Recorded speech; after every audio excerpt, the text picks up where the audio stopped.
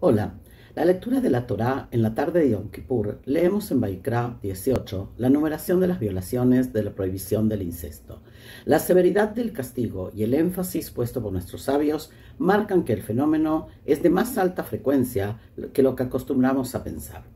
El incesto es un ultraje al otro, no solo por afectar los derechos de su, privacidad sobre su cuerpo, su mente, su libertad, sino a la esencia misma de la vida humana de quien fue creado a imagen y semejanza.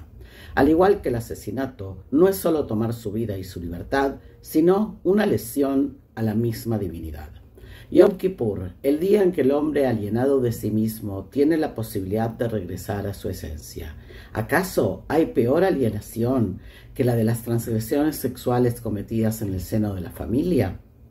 Tal vez es hora que rabinos y líderes religiosos encaren estos temas con las herramientas y el idioma del siglo XXI.